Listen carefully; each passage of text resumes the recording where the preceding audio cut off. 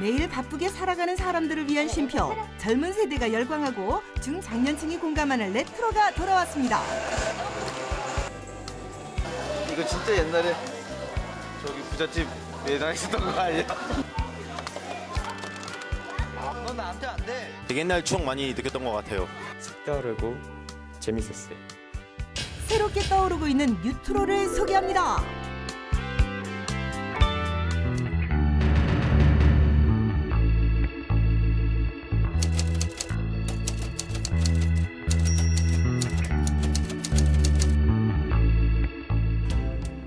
뉴트로라는 신조어까지 나온 요즘 과연 사람들이 뉴트로에 빠지는 이유가 뭔지 궁금합니다. 이곳에 가면 알 수 있을까요? 오셨어요. 요즘 대세잖아요, 복고가. 복고에 빠져봅시다. 안녕하세요. 안녕하세요. 7080 세대들이 청년 시절 즐기던 문화가 요즘 젊은 세대들에게는 새로운 감성으로 다가온다고 하는데요. 이거 다 옛날에 이렇게 다 있었어 집에 담이 이렇게 있어. 의상 소품을 보기만 해도 그때 그 시절이 떠오릅니다. 다른 것도 한번 보자 뭐가 있나 이게 더 예쁘네. 이거 엄마들이 아가씨 때 입던 이런 원피스 이게 이게 어린 아이들에게도 반응이 좋다고 하는데요. 날 거예요? 네. 지금 거랑 달라요. 다르니까 어떤가? 신기해요. 제 어린 시절의 향수 그다음에 그 고향에 대한 그리움 이런 게 되게 강하게 남아 있었는데 아이에게 이렇게 특별하게 그때 그 모습을 담아줄 수 있는 게 정말 좋아서 이렇게 다시 찾아오게 됐습니다. 최근 뉴트로 사진 컨셉에 관심을 갖는 손님들이 많아졌다고 하는데요. 그 인기를 피부로 느끼신다고요? 제가 레트로를 워낙 좋아하고요. 예, 사람들에게도 이 레트로 감성을 전달하고 싶어서 이런 사진관을 열게 됐습니다.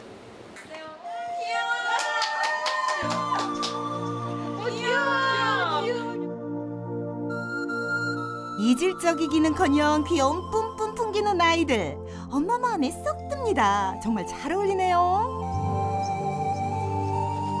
먼 옛날 이야기로 듣기만 했던 부모님의 어린 시절. 직접 사진으로 남겨보니 서로 이야기 나눌 추억이 생긴 것 같아 거리가 조금은 가까워진 듯 친근감이 생기는데요. 옛날 문화라고 해서 고루하고 따분할 거라는 편견은 이 사진 한 장에 말끔히 사라지네요. 신기하고 재밌어요.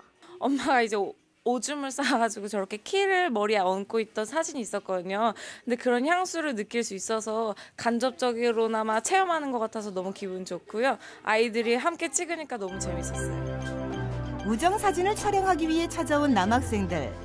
유행에 민감한 나이지만 오늘은 뉴트로 컨셉을 선택했습니다. 남다른 의상에 깨알같이 챙긴 소품이 빛을 발하네요. 아버님들 옛날 사진이라고 해도 믿겠어요. 복고풍 레트로를 처음 체험하면서 기성세대 분들이 어떻게 생활했었는지 알게 된 것 같고 또 이런 레트로가 왜 유행되었는지 알게 된 것 같습니다. 과거로 떠나는 여행 뉴트로는 회색지대 도심 한복판에서도 만날 수 있습니다. 젊은이들이 삼삼오오 모여 청춘을 불태웠던 그곳 바로 롤라장인데요. 복고 감성 물씬 풍기는 분위기며 노래까지 마치 시간 여행을 떠난 것 같네요.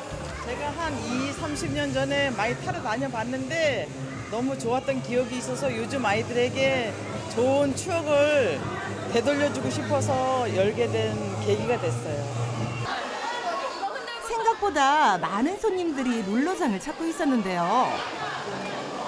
학생분들이 주로 많이 오시는데 어른분들이 추억 회상하시러 아기들 데리고 많이 오세요. 이렇게 아들, 딸과 공유할 수 있는 또 하나의 추억이 만들어집니다. 롤러장 많이 와봤어요? 처음 왔어요. 롤러 타는 것도 재밌고 음악도 신나고 분위기도 좋아서 자주 와요. 생각보다 아이들이 거부감 없이 즐기는 모습이 색다르게 보이는데요. 어른, 아이들 모두 즐기는 이게 바로 뉴트로인 거죠.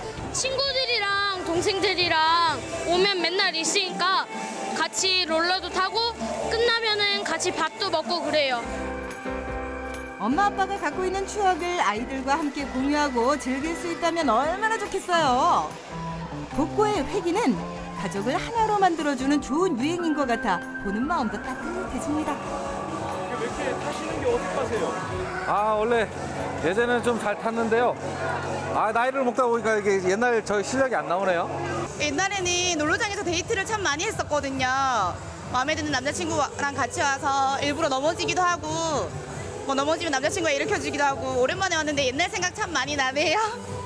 저희가 좀 어렵고 이런 시기 때 이런 거 탔던 것들 생각하면서 타면 좀 행복하고 기분도 좋아지고 그러는 것 같아요. 우리 아이들도 언젠가 즐거웠던 오늘을 기억하며 웃음 지을 그날이 올 거예요. 해가 지고 네온사인에 불이 켜지는 밤. 감성이 젖는 이 시간에도 뉴트로는 꾸준히 우리를 찾고 있습니다. 도시에 불이 꺼지고 하루를 바쁘게 보낸 사람들이 찾는 공간에도 뉴트로 열풍이 가득한데요. 곳곳에 지난 세월 많은 이야기를 담고 있는 소품들이 눈에 띄네요. 사장님 여기 4인분만 주세요. 사장님 여기 고기 3인분만 주세요.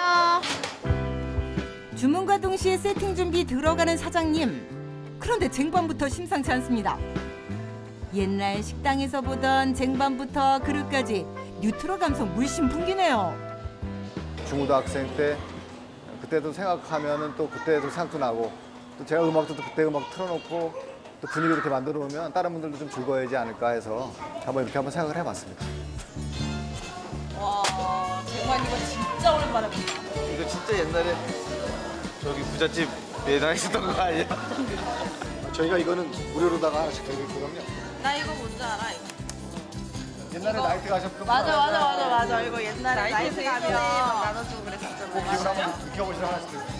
이거 옛날에 90년도 막 테크노 한창 유행하고 이럴 때 입구에서 단골들은 한 번도 놓친 적이 없어. 항상 받았어. 맛있게 식사하러 왔다가 우연히 마주한 뉴트로의 세계. 마치 어린 시절로 돌아간 듯 들뜨는데요. 오늘따라 고기 맛이 달다 달아. 고기 좀 먹었으니까 한판 하러 가야지. 너 나한테 되겠냐? 그건 해봐야 하는 거지.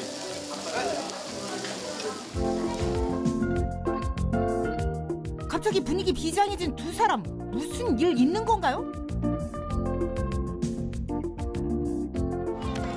아하 100원 200원 모아놨다가 오락실에서 대결했던 초딩 시절로 돌아간 두 손님 여간 진지한 게 아닙니다 결국 너 나한테 안 돼. 야, 내가 늘 하는 게임이 아니라서 그래. 여기 분위기가 좀 독특하고 참신한 것도 있고요. 그리고 예전에 오락실 다녔던 그 게임기도 있어가지고 친구랑 게임하면서 되게 옛날 추억 많이 느꼈던 것 같아요. 그 사는 게 좀 삭막하고 그런데 젊은 세대들하고 저희 세대하고 이렇게 좀 소통도 좀 되고 저희 가 했던 거를 같이 느끼면서 공감할 수 있는 공간이 돼가지고 저는 저로서 너무 기분이 좋습니다. 하루가 다르게 디지털 기술은 발전해가고 매일 모르는 단어들이 쏟아지고 있는데요. 오늘의 유행을 쫓기보다 잠시 쉬어가며 과거를 회상하고 그 속에서 위로받을 수 있는 뉴트로가 어린아이와 중장년층에게 반가운 선물이 되고 있습니다.